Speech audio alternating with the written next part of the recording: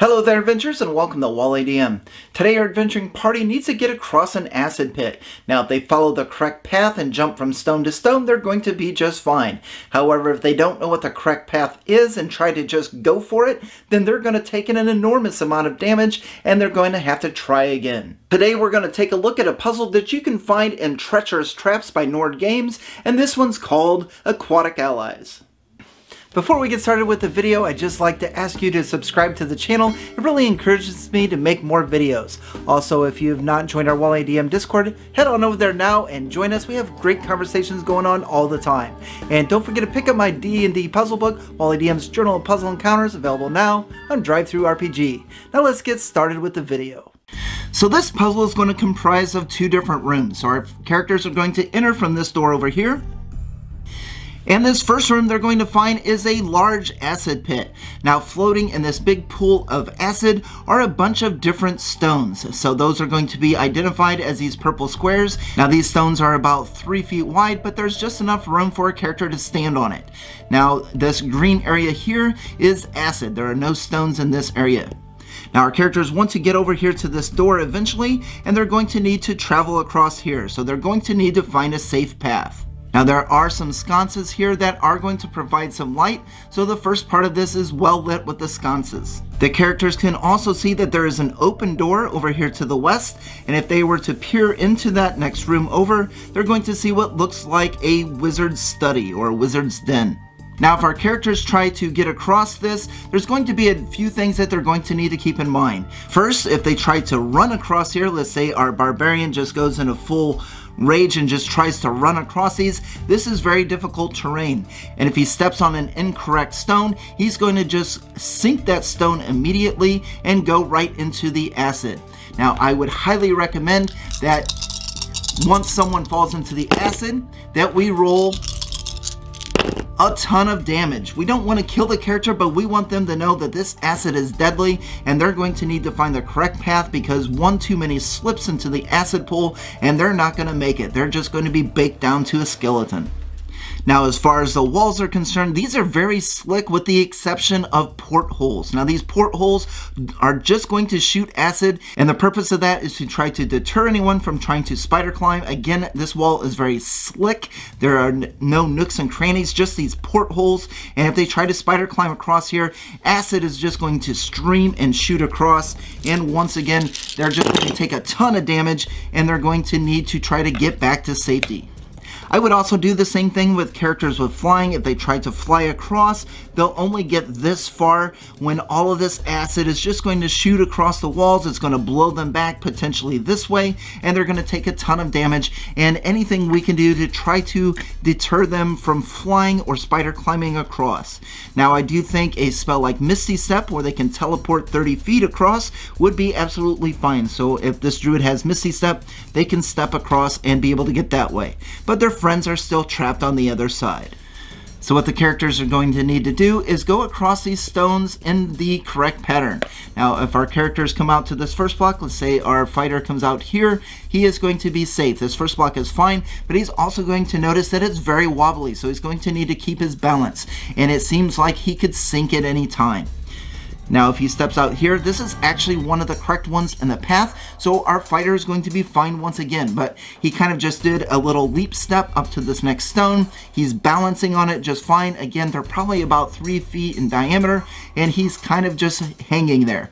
Now let's say if our fighter goes here again, and he's going to sink this stone as soon as he steps on it. He's going to go right into the acid, and the only way for him to get out is to come back to the previous stone that was safe. So he's going to need to climb back out here, and that's going to be after he takes an amazing amount of damage.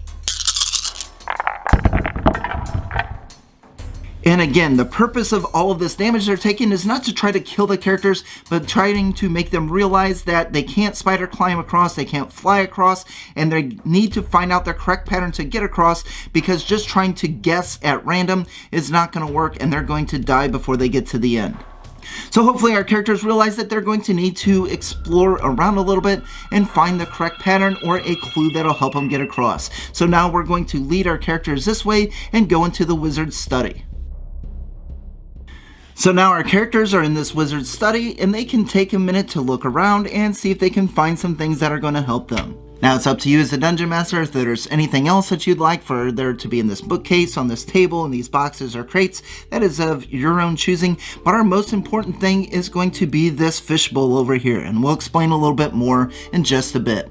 Now the strangest thing about this room is there is a 10 foot square opening that is cut out in the middle of this room. And as soon as they come in here, they can hear the sounds of water lapping.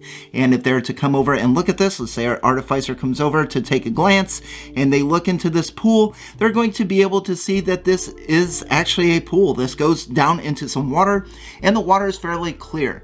So it's at this point we're going to allow a perception check for anyone looking down into the pool. And if they succeed on that, and let's make that easy, probably a DC 10 or 12, then they're going to see a bunch of fish that are swimming about. And as they're watching these fish that are swimming about in the pool, they're going to see a few fish that give off some type of luminescent glow. So the whole key is for these characters to explore down into this pool of water.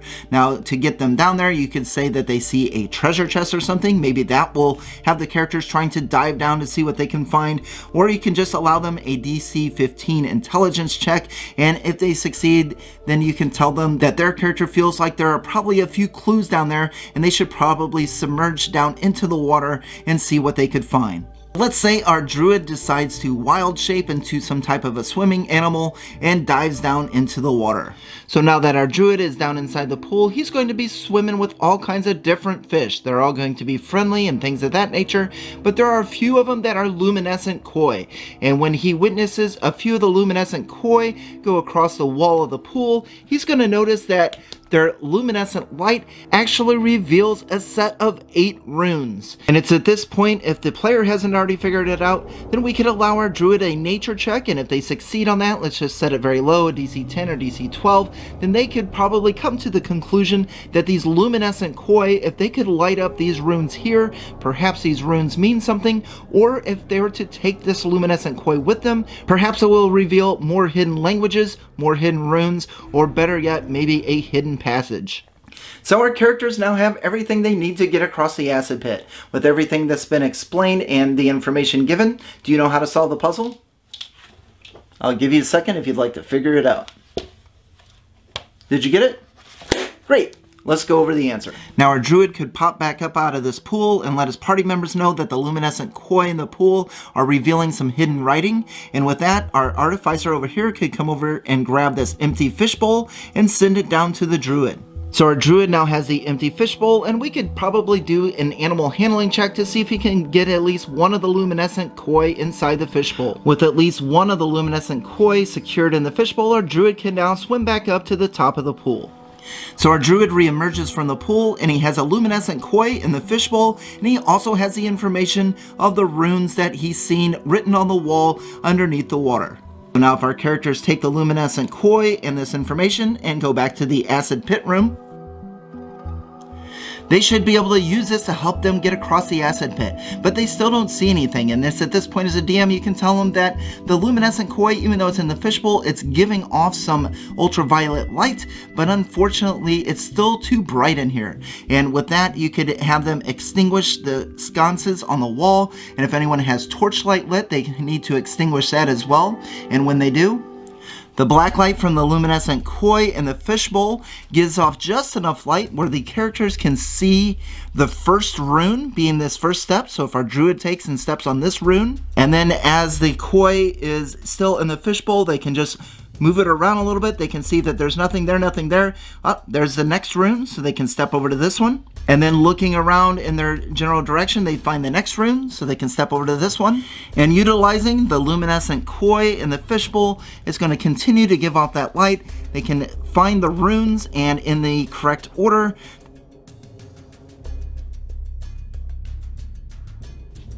And now that they're all safely on the other side, they can open the door and successfully continue on with their adventure. So that is Aquatic Allies, and you can find that puzzle in Treacherous Traps by Nord Games. If you'd like to pick up your own copy, I'll put a link in the description below. Now with regards to the puzzle as it's written in the book, I kind of deviated away from it a little bit. I kind of made the puzzle how I would run it in a game. So if you're reading it in Treacherous Traps, it's going to be just a little bit different than what you've seen here today. Now, a couple fun things that the book says is if the luminescent koi are taken out of water for any reason whatsoever, they're going to shrivel up and die, and they're no longer going to be able to give off that luminescent light. Another fun thing that the book has mentioned is perhaps once the characters have the luminescent koi, they can keep it as pets, or as you go further along in the dungeon, perhaps the luminescent koi will be able to find more secret passages or more hidden runes. Now with regards to revealing runes, that was something that I added to the puzzle, and I'm almost thinking we could make a red herring about it. Perhaps we have another room where there's a bunch of runes, and the characters are trying to move them around or what have you. But little do they know that the runes are just invisible writing in the acid pit room. So that's all I have for you today. What did you think of the puzzle? Is this something that you could use in your game? And if so, what would you do differently? I'm looking forward to your feedback on this and how you would use it in your game. Thank you very much for watching. We'll catch you in the next video and on to the next.